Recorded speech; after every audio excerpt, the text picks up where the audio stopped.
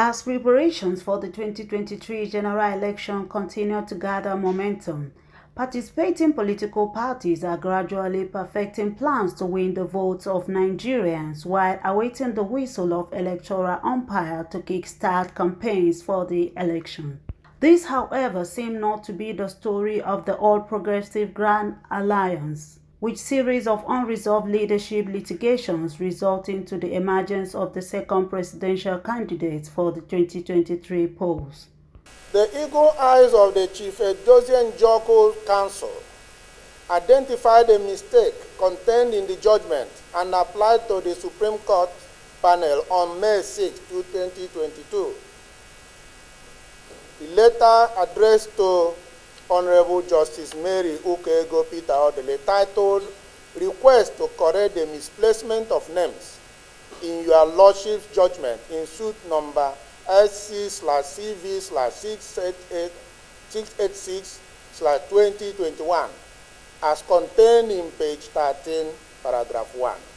For one of the factional presidential candidate and founder of APGA, Chief Chekwas Okorie, the Independent National Electoral Commission is to be blamed for the lingering crisis. At the news conference in Abuja, Okorie wondered why INEC refused to recognize the leadership that produced his candidacy, even there is a valid judgment to that effect. It was convenient for INEC to promptly comply with the 14th 2022 judgment of the Supreme Court which contained a mistake, which Dr. Victor Oye celebrated as having been affirmed the national chairman of APGA by the Apex Court. INEC, in fact, INEC complied with, within 48 hours of his delivery. The same INEC has turned its face away from duly corrected judgment nearing 60 days after the correction.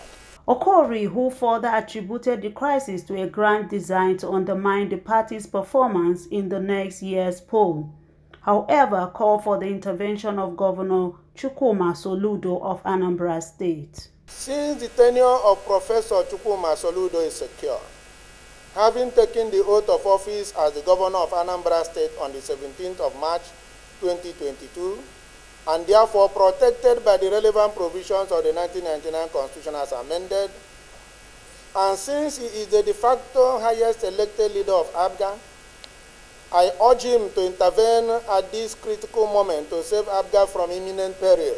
He also solicited the intervention of President Buhari and other organs of government to call INEC to order to avoid action that will undermine the conduct of the election. CNN News.